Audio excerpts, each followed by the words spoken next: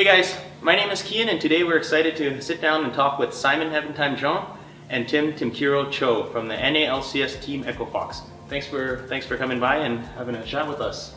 To start things off, why don't you guys tell us about yourself? Sure, uh, my name is Simon. My in-game name is Heaventime and I'm a head coach for Team Echo Fox.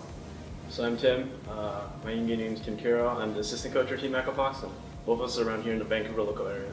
We're in Vancouver too, so it's really nice to have you guys um, being able to, to come sit down with us. Thank you. Um, how did you guys get approached for your respective position, and what kind of esports experience have you had that led up to your current position on Echo Fox? Mm, actually, I was a pro player for like uh, three years. I've been um, playing Challenger Series Okay. a couple of times, and I was also coaching the UBC team. And that actually kind of led up to Jake's interest, uh, who is our general manager. Uh, I conversation with him, and he was interested in me to try out. So I went to LA at the end of summer split, and we were just. I mean, I was just there, you know, like uh, trying to do my best, and it went well. And also, we needed assistant coach, so I immediately hit up Tim, who is our assistant coach right now, and he said he was interested, and yeah, that's what happened. Okay. How long were you in LA for at that time? Uh, I was in total, including the promotion tournament. We were there for a month, more than a month, right? Like uh, You were there late June. I got Yeah. there on the 1st of July. okay. So we were there for a while. Cool, cool. Can you describe your roles, um, both your roles on Echo Fox as a coach and an assistant coach, and how coaching goes beyond just having gameplay knowledge? mm, uh, as a head coach, I make sure everyone can be on the same page. And if there is a discussion, I try to go over. And he's also there to just like add up stuff. And he's pretty much that. You wanna explain your? Sure. Yeah. So uh, for me, or for Simon in particular, he focuses a lot more on the strategy aspect of the game. So really in-game coaching, he does a lot of the strategic stuff. So what I do is I do, I try to manage our analysts. I try to also do a lot of research myself and just make sure everyone's on point and doing their job. That's kind of what I try to do. Okay. And usually, um, when when the teams have kind of uh, their little little get together during the game, is it do you have the team captain kind of ramp up the team, or are you guys the guy that are trying to get everyone, Mm, you know, feeling never feeling good? got to the point because like uh, players and coaches we actually uh, respect like uh, mutually. Okay. So we never got to the point where we are like we hate you, you hate me, like that kind of stuff. But Okay. If I have to pick a captain on our team, definitely I our middle laner Froggen. Okay. Yeah. And in regards to your question, so uh, for hyping people up, mostly most of the time we actually try to keep them pretty calm. Like what we want to do is like we always try to make sure that they just play as they scrim, Mm. like play how they we scrim, and just not get emotional over the game or get personal about the game. So we try to keep that. Uh, for practice, we don't really do a hype of things. We just encourage them to be focused. Good, That's very good. Okay. And it seems like the coaches are almost a staple for the teams wanting to be competitive. Um, what would you say are the qualities that are needed to be a successful coach? And are there any tips that you can give to people that want to be a coach? Mm, Definitely, I think it is important to be professional about it. That even though uh, we are close to them at a friend level, Mhm. still I try to be professional, and that was something like a tweak, which is he actually helped me about that stuff. So I think that's the most important part. Uh, not trying to approach in emotional way, just trying to be professional and calm. Okay. I wouldn't necessarily describe us as successful coaches, but I do think that elements of a successful coach include um, just making sure your team is able to do things comfortably and just execute on stage. I think that's where we kind of did do so well this split. Yeah. There's also next time, so Yeah. there's definitely a lot of um, a lot of things to look forward to, right? Okay. And um, I want to talk a little bit about Rick Fox. Uh, how does Rick Fox involve himself with the team beyond being a co-owner? And uh, we can see him we can see him watching matches, and he speaks very passionately about esports. So we're just wondering, um, does he does he have an active role providing uh, support and guidance as a as a co-owner? I think he did before I joined the team, and he was just there trying to give his advice. He's from ex- experience because he was a com- uh, competitive uh, player as well in NBA. Yeah. So sometimes his advice is uh, really helpful to just like uh, remind us what's important Mhm. in this competitive setting. Okay. He drops a lot of hints for us. Uh, he's probably kind of just like a like a mentor to a lot of the players and to us uh, uh, us as well. doesn't really get too nitty gritty with us. He gives us space to do what we want to do, and on game days he just shows us when shows support for us. Nice, nice. Okay. And how would you describe the team environment and the players on the team? It was so I thought team environment would be really bad because when I joined the team, it was like one victory and 14 losses. Oh. But despite despite the losing streak, the team environment actually good. Everyone was friendly each other. It just like uh, there were a lot of you know, heel. Yeah.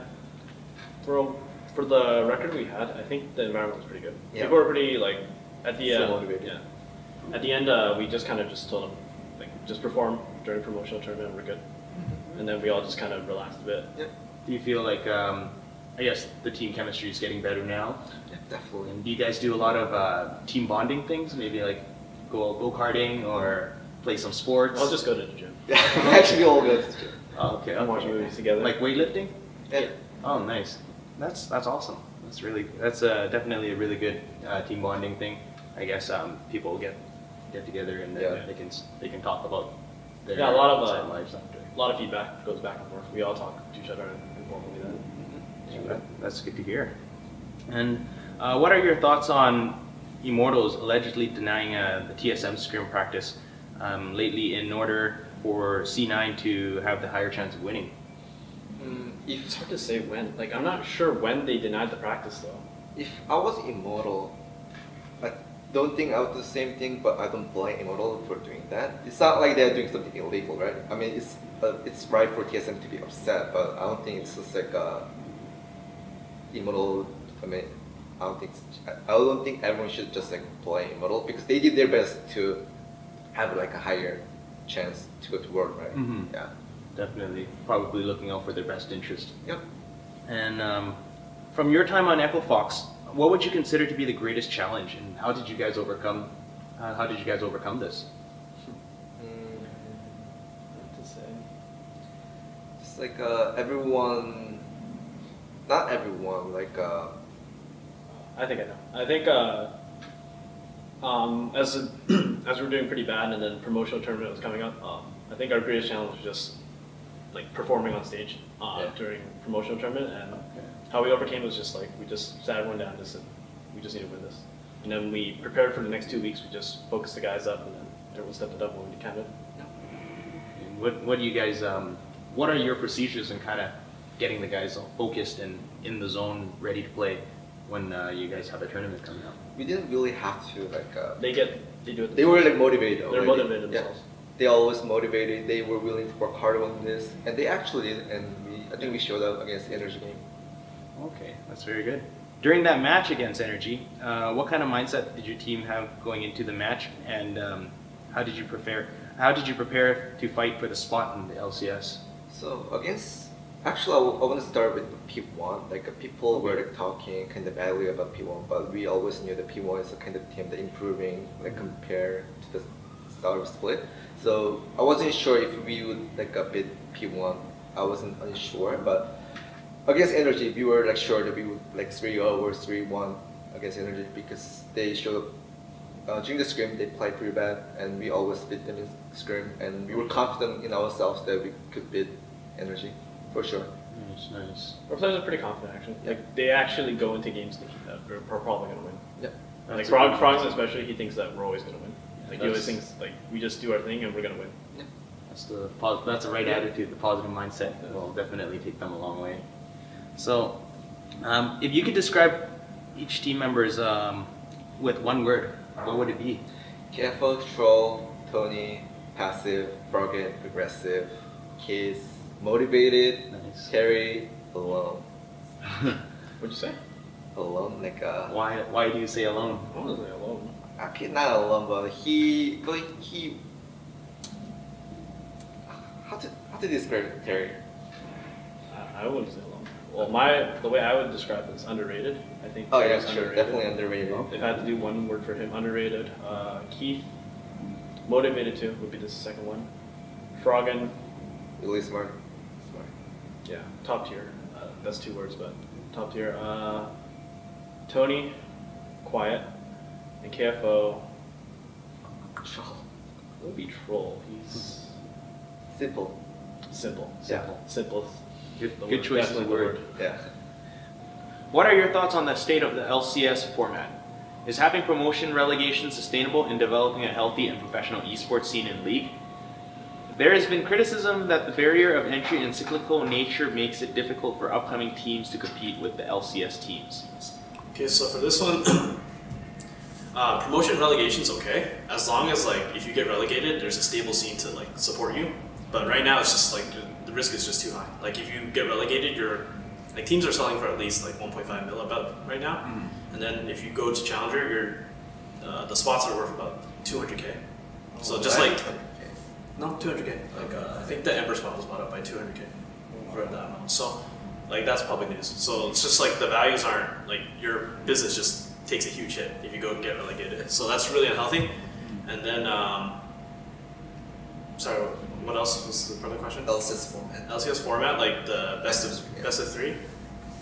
I Uh, think it's okay. before com- before coming in this split, I thought it was great. I thought the best of three is, does reward the better team. But uh, for us in particular, I think the best of two would have been a lot better.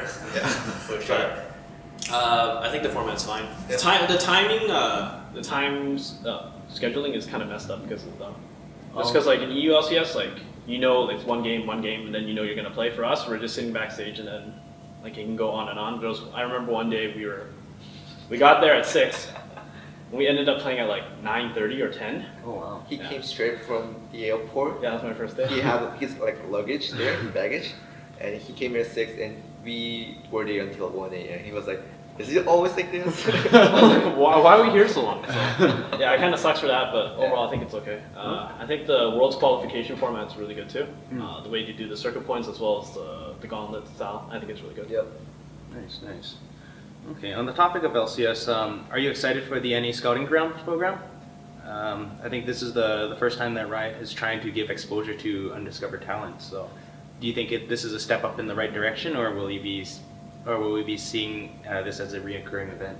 I think the intention is good, but definitely there's a better way to take care of it because like uh, what, what's happening is like so they don't give chance to the players who already showed up in NACS, right? But I think it's unfair because uh, from my experience, some of good players, even though they are good, they are underrated, and it's hard for them to show up now because like what can they do? The Riot said they will they will show up, but the thing is it's a team game. Like you don't always like, show up by yourself even though you're a good player. Mhm. So I think that's something Riot should take care of. Not only give chance to the players who didn't play at all. Yeah. I disagree though. I think it's a good idea. I don't think the purpose of any scouting grounds. I don't think is to find LCS players. I think it's to find Challenger Series players. I don't think like you can just magically pluck someone out of chal- uh, just a ladder and then put them in an LCS team and they'll Yeah, succeed. Like, like- it's very hard to do. I don't think there has been any case of that recently. Like, right now, no one cares about Challenger scene. So But- if, if they actually like uh, promote NA Challenger more and make it bigger, I definitely agree. But at the same time, like the NA challengers, like that's Yeah. you, you put a player there and that's how they develop themselves. Like uh, Biofrost, for example, like he didn't come straight from ladder. He went on Dream Team and some other teams, and then he moved, worked his way up.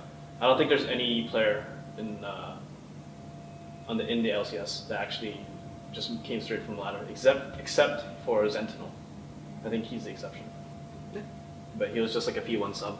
Uh, maybe Oh. Brandinia as well, but I think Brandinia was on some other teams as well. I'm pretty sure he was. So Okay. that's my thoughts. And overall, we're pretty excited for it just to take a peek and see how they do things. It's definitely a step in the right direction, I think. Yep. Nice. For you guys, you guys will probably keep your eyes on it and Yeah, see sure. how things go. I think uh, I'm not sure. I have to talk to our org. I think we're heavily involved too. Like I Simon think, I, I think personally. it's gonna be Riot flying us if we are not in LA, right? Yeah. No, like uh, I remember one of the orgs. They they came to our office one time and they asked us about this months ago. So Okay. we, we knew about it, and then they I think they wanted us to be one of the orgs to take a Yeah. look. Not too sure about that yet. Because the thing is, I when I uh, read the article, it was they actually mentioned Echo Yeah, Fox they had mentioned so- Echo Fox and Team Liquid, so I, I think they want us to look take a closer look. I'm not too sure. Yeah. That's definitely. I know a lot of the other LCS teams are probably taking a look. Yeah. That's a lot exciting. of teams probably want to make L- uh, challenger teams. I know TSM already announced that they wanted to look for players in October, so this is probably their first way of getting like first step. Yeah. Okay. Look forward to that. What are your thoughts uh, for Worlds this year? SKT. I think it'll be pretty good. I think the right teams are going from each region. looks pretty competitive so far. Um, Europe, you have Forg1ven finally going to a Worlds. Uh, NA, we got TSM, CLG. It'll be interesting who we send for our third There were a lot of like uh, hits on CLG that it should be like a immortal. No way. No, there were some. I mean, there is hate, Yeah, but like, but there's no way think they should, CLG should go. Like, Yeah, I they're think so. by They the deserve it. They won the spring split. Like uh, the word is about the team who performed better in the year, not just first split. And also, I think it's a Riot kind of like messing up the patches like a lot. Oh, yeah. So, Oh yeah, the matches. The, They just like change it right before like that was pretty messed up. world. I'm like, whoa, not sure about that. Hmm. That can Red teams definitely in China are going. Although I'm surprised IMay went. I thought World Elite would go as the third seed. And then for Korea, we have ROX and SKT. And one more, I'm not sure who's the third one yet. Overall, pretty excited. Looks pretty good. Awesome, We're probably awesome. going to fly down and watch a few of the matches live, so I'm excited for that as well. How how is it like watching uh, watching it live? As um, I guess as coaches, you guys are not only watching watching the game. I'm sure there's other things that you guys are are keeping your eyes on when you guys are attending these event live.